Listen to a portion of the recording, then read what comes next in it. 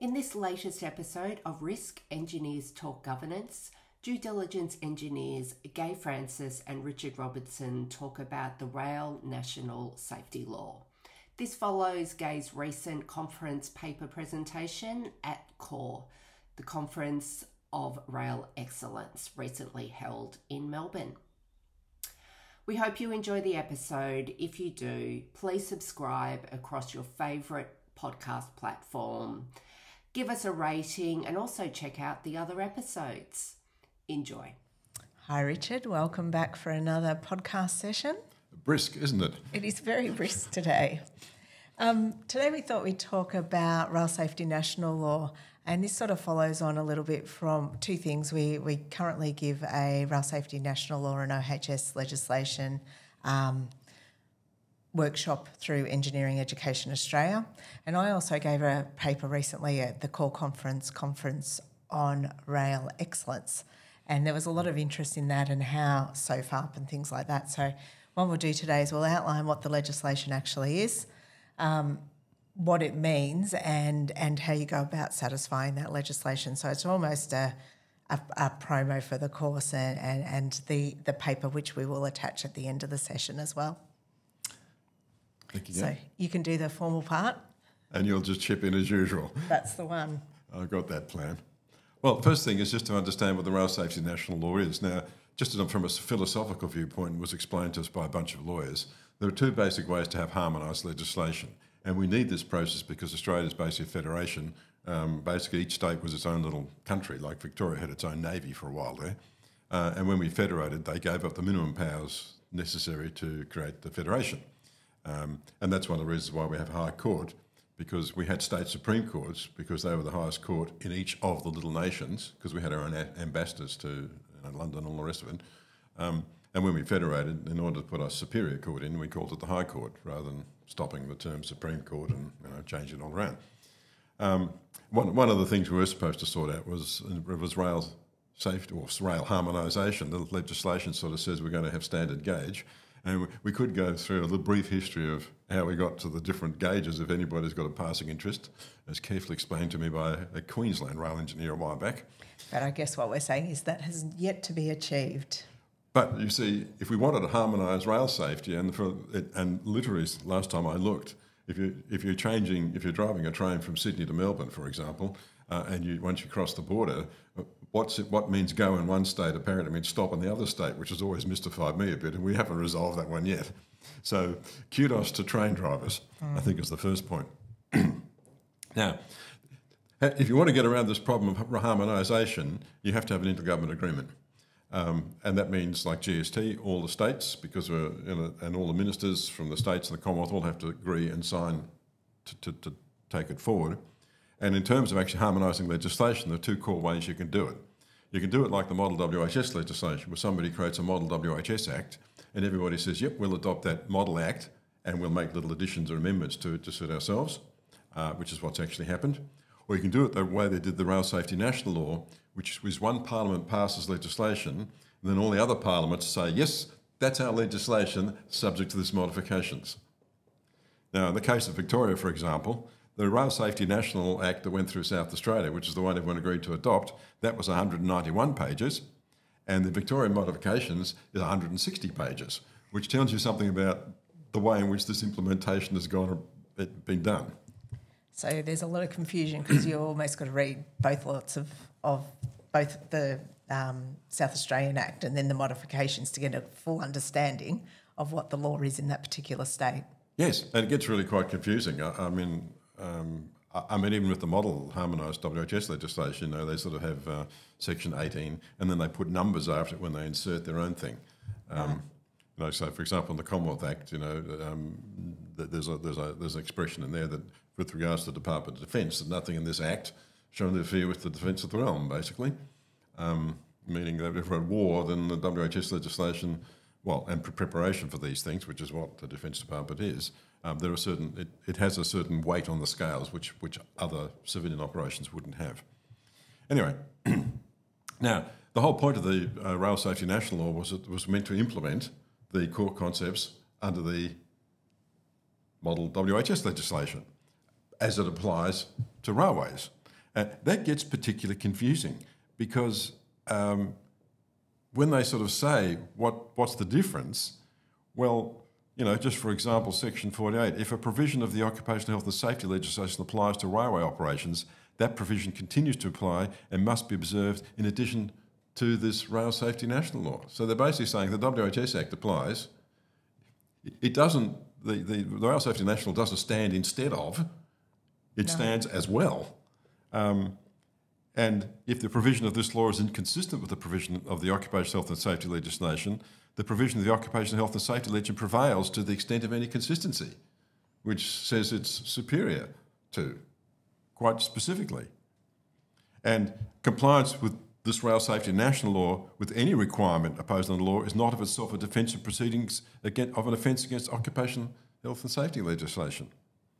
Uh, and evidence of relevant controversy of this rail safety national law is, is, is admissible in any proceedings for an offence against the occupational safety and health legislation, which basically means it's, it's, it's superior. The health and safety Legislation legislation. is superior. Yes. Um, so we find it all a little bit strange because one starts to wonder why on earth you bother having a rail safety national in the first place if all it is going to do is to apply to rail matters as opposed to any other safety obligation. But obviously, two trains run into each other or a level crossing accident occurs, the provisions of the WHS legislation still apply. Uh, so it's it's it's curious. Our understanding is that the rail regulators then have agreements with the health and safety regulators to prosecute under the OHS and WHS legislation for rail matters. Is that Well, correct? Yes, except when you have a complicated matter like the level crossing accident at Wallan, Victoria, where it was a New South Wales train running on ARTC track, so it's being heard in a Victorian Magistrates Court, yes. Yes. which means it's rather difficult to actually mm, separate out who's going to be responsible for these things. But see, the other point though is that in most jurisdictions now, they've actually stuck criminal manslaughter provisions in under the WHS legislation. So if they wanted to get you under criminal provisions, they'd have to go under the WHS legislation, not under the Rail Safety National Law. Although, obviously, the five years for recklessness, knew or made, ha- knew or made or let it happen, still applies under the um, OHS or the The rail safety or WHS WHO or both. Um, the, the main difference, as far as we can tell, is that, that the uh, Rail Safety National law, law applies to rail safety work. It obviously creates the regular ONRSR in Adelaide, um, and it obviously enables the accreditation of railways, the, AR, the ARO, and all those sorts of things. Um, and it promotes safety management systems as applied in the rail business. So that, that, that is sort of helpful um, because otherwise, how would you do that if you didn't have a separate, a separate act? But the core duties are identical. Uh, and this is the WHS legislation takes precedence in all the terms and ways that we can see.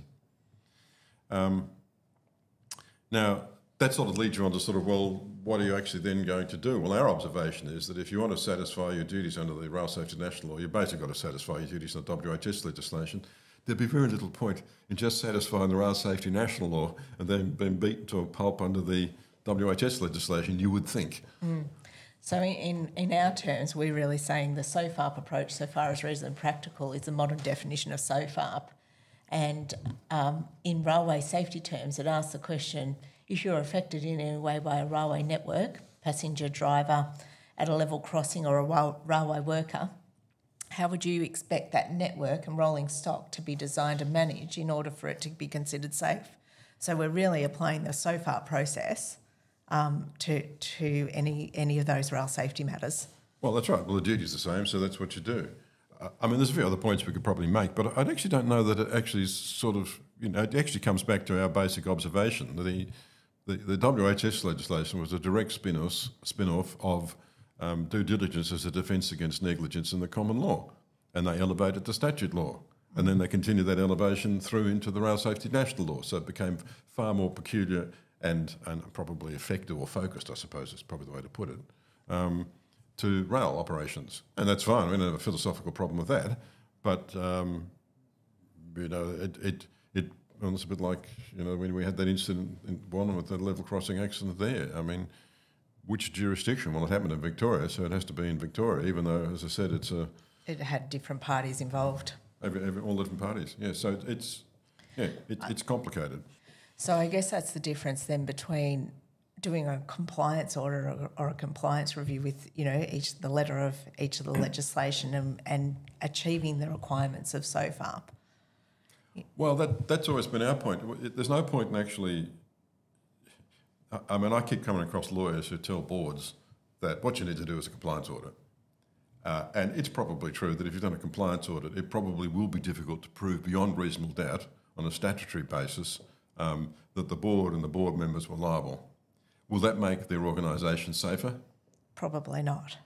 And if you want to be safe, what you've got to do, first of all, is manage things to satisfy the laws of nature. Why won't the two trains collide? Mm. And then, having sat it, done that, and demonstrated yourself in engineering or scientific or however terms you wish to think about it, how, have you done that? Functional safety terms, uh, 61508, and so forth. Um, what makes you confident that you've done that in a way which would satisfy post-event legal scrutiny? I mean, you may recall when we did the functional safety assessment under IEC 61508 for how two trains would get past each other in New South Wales on single line track.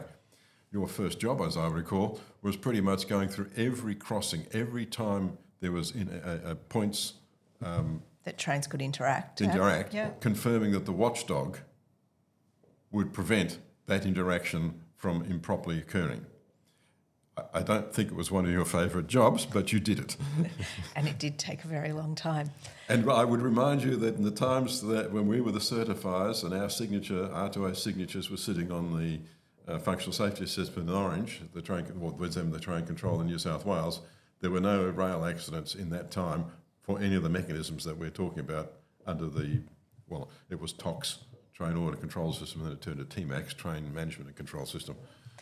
So, with any of our rail safety jobs that we do, mm. and in line with the WHS legislation and the Rail Safety National Law, we still always go through our four processes. What's our argument for completeness? Yep. Have we got all the key, credible, critical issues on the on the table?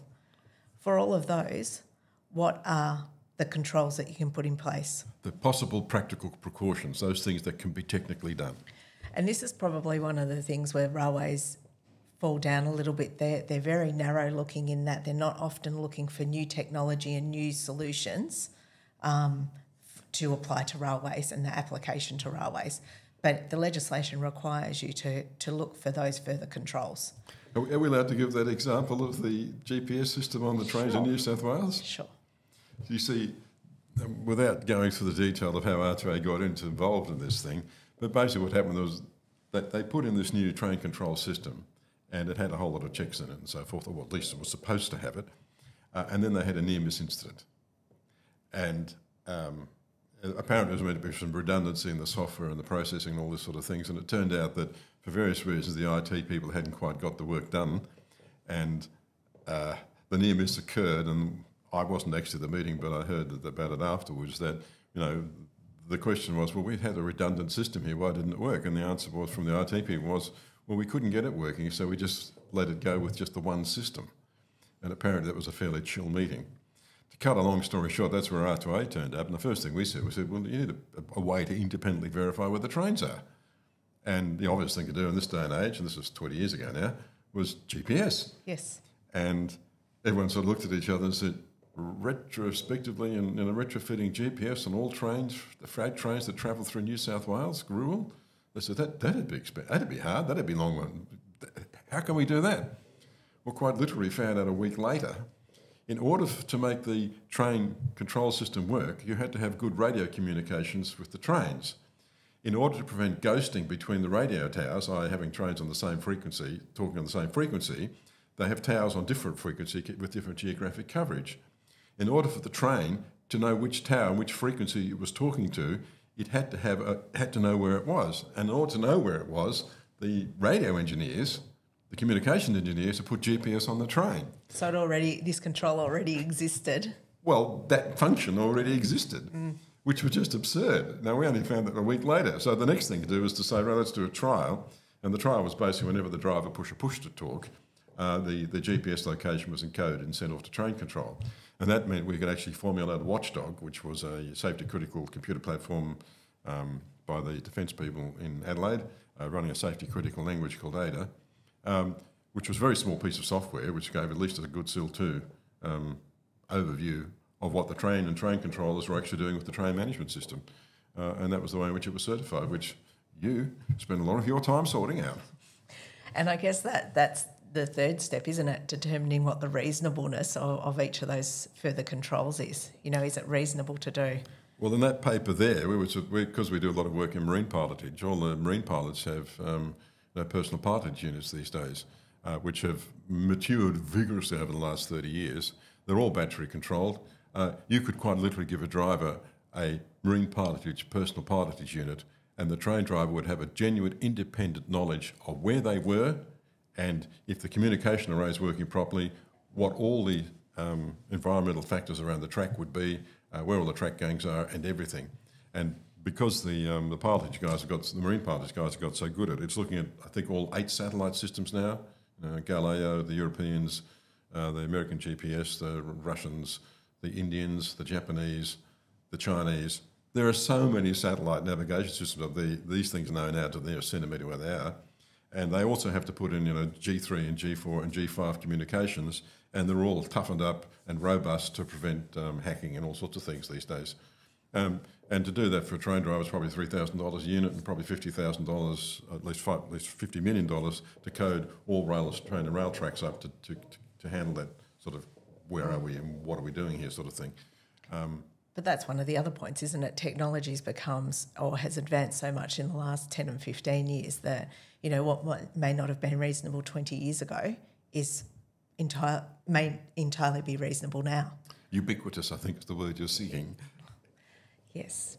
Um, and then the last step, of course, is to make sure you've got a quality control system to make sure that what you say you're going to do remains in place and remains um, robust and, and effective.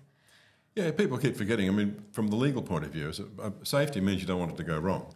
But from a legal point of view, liability only arises because of inadequate, insufficient, or failed precautions. It doesn't arise because something's risky. Mm. Per se, that, that's the nonsense. I keep talking. People keep talking about riskiness, and I think they don't know what you're talking about. The question is sofarpiness, not riskiness. I don't know that sofarpiness is actually a word, but well, well, isn't a word either, actually. um, so I hope hope you've enjoyed the podcast today. We just wanted to run through that there is some confusion with the um, Rail Safety National Law and its interaction with the WHS legislation. Um, but we've eh, all the rail organisations that we've talked to said that if you satisfy the requirements of the WHS legislation, you have in turn satisfied the requirements of the Rail Safety National Law. So thank you for enjoying joining us again. Thanks, Richard, and um, we'll see you next time. Thanks, Gaye.